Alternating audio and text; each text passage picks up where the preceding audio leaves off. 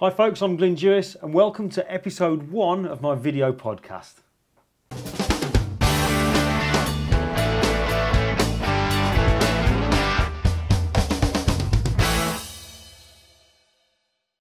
Okay, so to kick things off, I want to start with a really cool lighting effect, and it's one that I would normally have done in Photoshop, but I want to show you this effect in Lightroom, how we can now do this in Lightroom and also Camera Raw. First of all, let me show you the effect and how I used to do it up until now using Photoshop. Now I'm in Photoshop CS6. I've got a picture here that I call Dark Angel. And this is a, a composite picture of model Jessie, who we photographed out in uh, Germany. And the background and the floor is actually one shot in itself. And that's just a shot that I took when I was walking around on a nice day during looking around at uh, Heidelberg Castle. But the lighting effect I want to do here is, do you know those kind of... Uh, torches that they used to have in the old days, where it was like a stick with the, the, the fire at the end of it. I think they call them torches. But I want to kind of give the impression that one of those is in the top right hand corner of our picture. So it'd be nice and warm in the top right hand corner and then getting sort of cooler as the light goes further down towards the floor. Now, the way I used to do that was by going to the layer menu and going new fill layer and choosing gradient. And from there, I'd just type in something like light and we've got to change the mode here. I'm going to change the mode to soft light and click OK. Now when we do that, the gradient fill dialog box comes up here and I'm just going to click on the gradient there to choose one that will be suitable. And to be honest with you, it doesn't really matter which one I choose because I can change the colours. But to make thing easy, things easy, I'm going to choose this one here, this kind of like purple and orange gradient just here. And you can see kind of the effect happening already on the picture. But I want to change the colour in this left hand corner here. So I'm going to click on this little icon, click on the color picker, and I'll just choose something that's going to give them the impression of being a cool blue. And you can see as I'm doing that now, that color is reflected in the bottom half of my picture. So I'll click OK, and we'll click OK there. Now what I can do is with gradient fill dialogs box, dialog box even, I've got the angle and I can change that to the direction I want the gradient to come in. So I want it to come in from the top left, or top right even. I can even put my cursor on top of the picture and drag it up and down to change where I want that picture to be, uh, or so that gradient to be. So that gives the impression there of having this warm light glow coming down from the top right and a cooler darker kind of feel to the bottom left of the picture. So how would I now do that in Lightroom? Well, let's jump over to Lightroom 5. And in Lightroom 5, we've got lots and lots of adjustments we can make now. And one of them is using the graduated filter. So I'm going to go to my develop module. And in the top here, I'm going to choose my graduated filter. And when we do that, we have the color down at the bottom. And I'm just going to click on that and choose a really warm orange kind of colour. Now, just so you know that when you're in this little dialog box here, at the very, very top is where the colour is most saturated. As you drag it down, it becomes less saturated, not so bright, and really kind of goes to white, to be honest with you, it goes to nothing. So I'm going to click this right at the top, a very nice warm orange.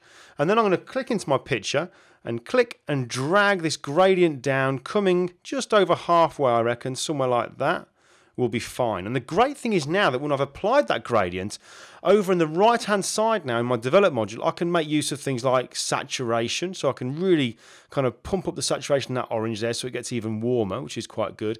And I could maybe even add clarity, exposure, and so on and so forth. But I'm just going to stick with the saturation for now. But I also want to add this kind of blue, this cooler part in the bottom left. So I'm just going to click on new I'll then click in the colour and now I'll choose a cooler blue colour. And we'll go for something like, something like that will be fine. Click in my picture and drag up something like so. Now when I've got this graduated filter, I can obviously move my cursor around within this to move it around. If I put my cursor over the middle, I can drag it so to position the gradient where I want it. I can even put my cursor over one of the actual outer bars here to reduce the size of that gradient. And if I wanted to, I can click on the middle bar and you'll see you get two arrows where I can change the angle of it, something like that. But I'll just drag that down just a little bit.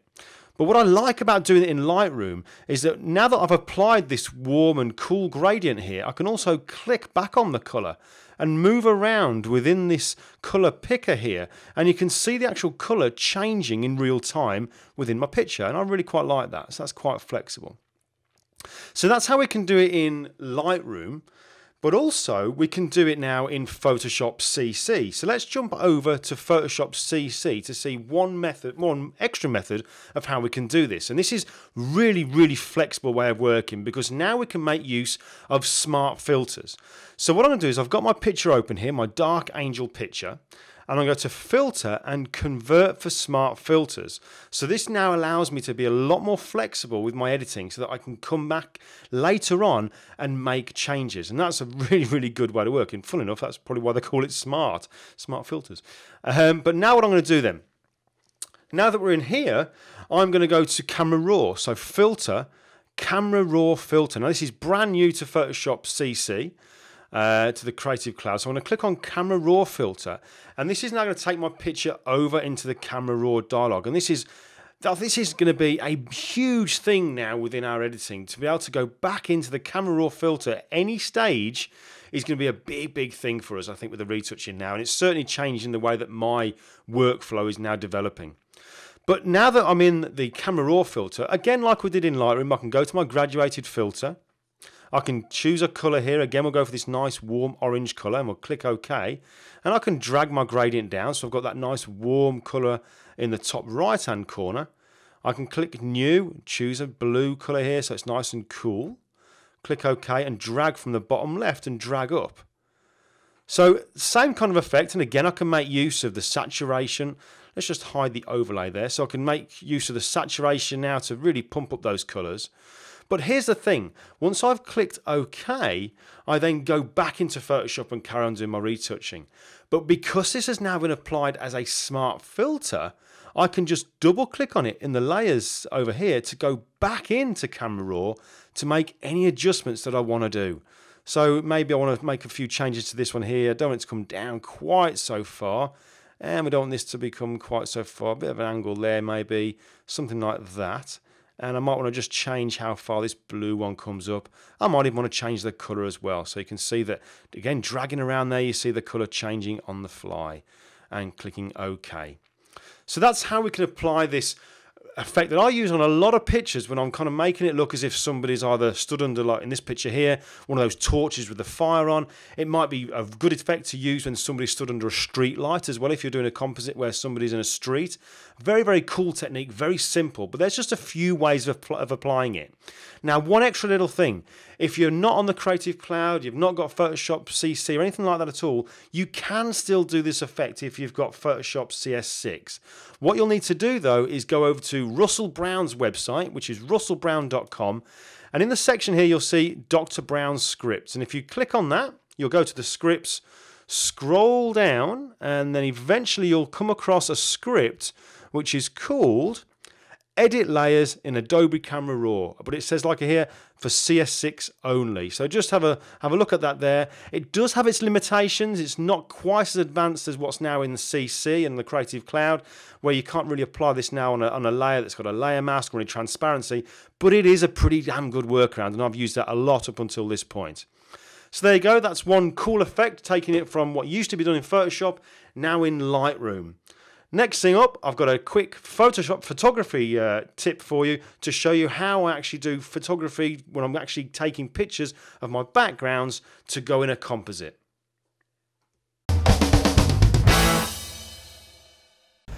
Hi folks, Glyn Dewis here. Now while we're out, I just thought it'd be handy to record a quick tutorial for one of the questions I get asked about a lot, and that's to do with perspective when I'm doing a composite. How do I get the floor, the angle of the floor, to match the angle that the person was photographed in the studio so the two matched up? Now this is really, really simple. What I don't do, I don't take measurements, I don't write things down or anything like that. All I do is I remember that when I am in the studio, generally when I'm photographing somebody full length, I tend to go down to kind of like down to one knee and I'm using my 70-200, which is my favorite lens, and I kind of focus and I take a shot from this kind of angle. So it's pretty simple. So when I'm out and about and I'm collecting the floors for the pictures that I'm going to be building, I take the picture in exactly the same way. So I come out with my 70 to 200, I go down to one knee, I choose the track, and this track here is the one that I was using, uh, you actually see it on the screen now, it's the soldier picture, the Afghanistan scene. That was taken exactly in the same place here. Grass has grown a bit because we've had a lot of water, a lot of rain, a lot of sun, so obviously things have changed. But all I did, down on one knee, get the camera up, 7200, And what I'm doing is I'm using the same, uh, same F number as what I did in the studio, F8, F11. And the reason for that is so that the person I'm photographing is in focus from the tip of their nose way, way behind them. So then I can put a scene in and it looks realistic, kind of. So I'm gonna photograph them, I'm say F11, I'll then focus on a point which is about as far away as what the model was in the studio down the track here. So he was maybe, I don't know, 12 foot away from me. So I'll focus on a point on the floor 12 foot ahead of me. I'll then compose it so that I'm at the same angle as when I took the shot. Then I'll take a couple of shots. So clickety click. And that's basically it. The angle's then gonna be the same. The photograph in the studio will then match up and everything works seamlessly. So nothing technical there, nothing written down, nice and simple. Best way to work it, don't overcomplicate things. Hope that's handy. Back to me in the studio. Okay, so to wrap things up for this first episode, I want to just finish off with a retouching technique that I use quite a lot when I'm doing composite images. And it's a technique that allows us to match the colour between the person we photographed in the studio and the background that we put them in.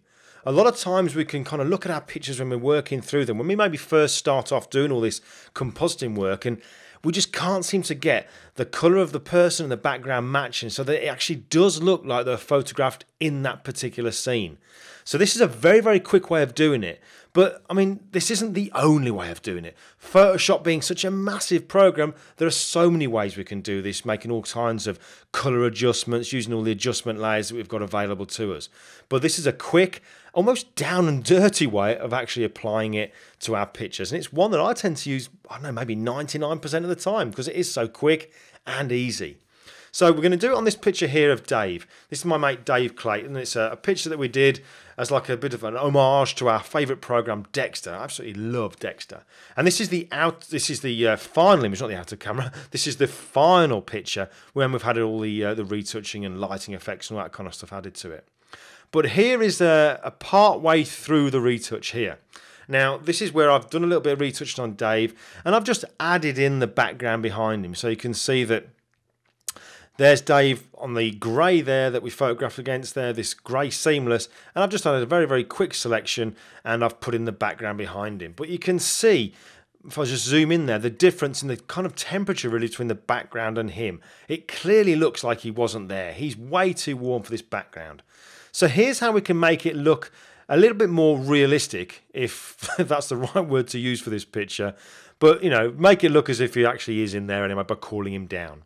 Now, all I'm going to do, I'm going to get a copy. This is the actual background that I used that I put in behind him. And I'm going to use another copy of that. So I'm going to get my move tool, click and drag this background texture, if you like, to the top of my layer stack. I'm going to get free transform and just stretch it out so it fills the whole picture like so. Now, I'm now going to apply a filter to it. And ordinarily, when we apply filters nowadays, we would try to use them as smart filters because that allows us to go back in and make adjustments later on. It's a very, very flexible and smart way to work. But with this one, there is no point because there are no adjustments that we can make. It just does one thing. And the filter we're going to use is this one, filter, blur, and average.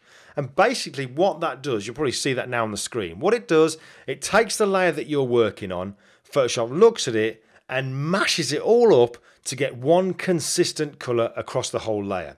So the colour you're looking at now is that peeling paint texture been completely mullered and made into one average colour.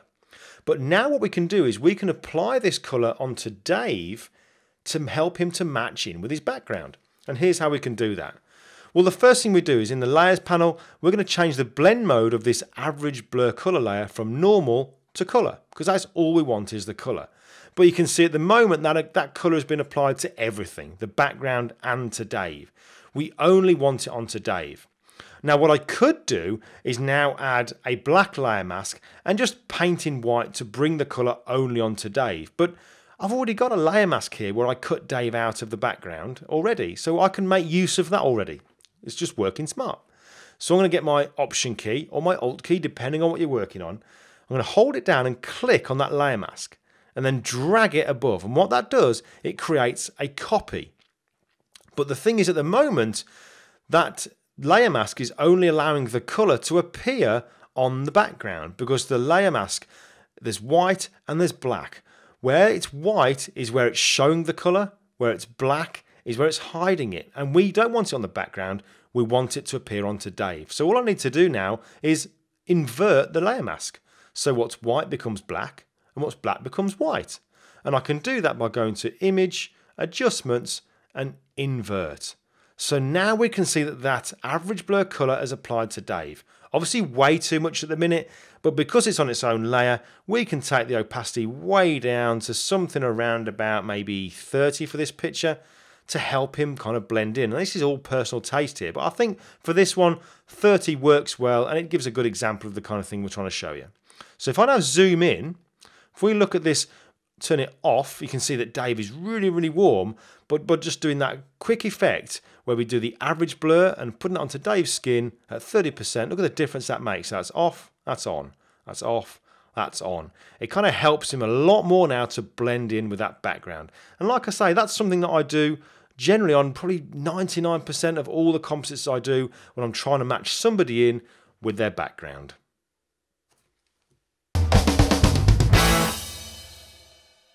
Okay, so thanks for tuning in to episode one of my video podcast. Now, obviously, this being the first one, it's going to develop over time with lots of other different bits of content. We're going to keep it to around about the 10 or 15 minute mark.